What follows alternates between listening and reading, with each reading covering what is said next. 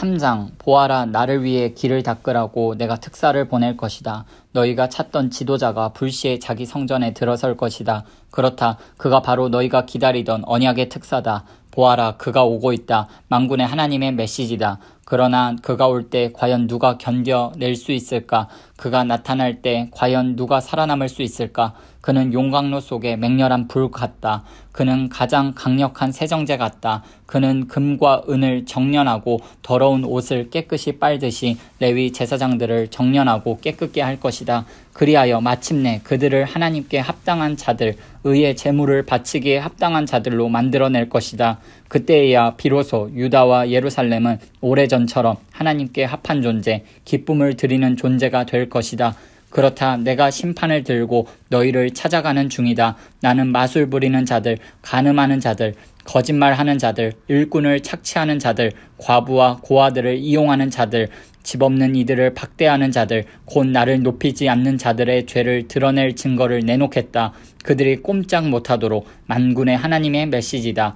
나는 하나님이다. 그렇다. 언제나 하나님이다. 나는 변하지 않는다. 내가 변하지 않기에 너 야곱의 자손이 지금까지 멸망하지 않은 것이다. 너희는 오랜 세월 동안 내 명령을 무시했다. 내가 너희에게 이르는 일을 하나도 행하지 않았다. 내게 돌아오너라. 내가 너희에게 돌아갈 수 있도록 만군의 하나님께서 말씀하신다. 너희가 묻는다. 저희가 어떻게 돌아가야 합니까? 정직한 일부터 시작하여라. 정직한 자들은 하나님의 것을 훔치지 않는다. 그러나 너희는 날마다 내 것을 훔친다.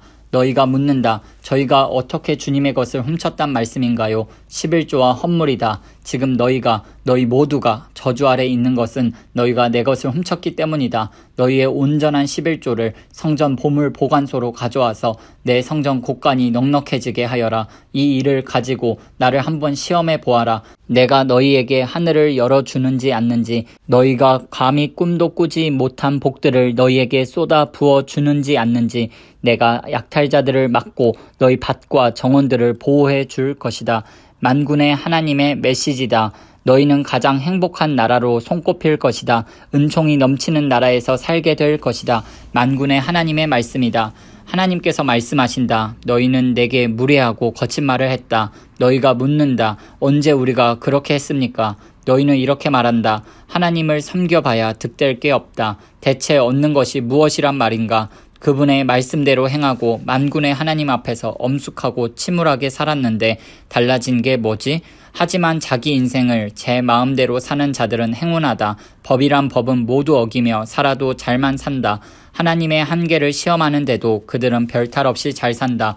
그때 하나님을 높이며 살아온 사람들이 한자리에 모여 이야기를 나누었다. 하나님께서 그들을 보시며 그들의 말을 귀 기울여 들으셨다. 하나님 앞에 한 책이 펼쳐지고 그 모임이 기록되었다. 하나님을 경외하는 자들, 하나님의 이름을 높인 자들의 이름이 다 기록되었다. 만군의 하나님께서 말씀하셨다. 그들은 내 사람들이다. 모두 내 사람들이다. 내가 행동에 나설 때 그들은 특별 대우를 받을 것이다. 부모가 자신을 높이는 자녀를 아끼고 품어주듯이 내가 그들을 그렇게 대해줄 것이다. 다시 한번 너희는 바른 일을 하는 사람과 그렇지 않은 사람, 하나님을 섬기는 사람과 그렇지 않은 사람의 운명이 얼마나 다른지 보게 될 것이다.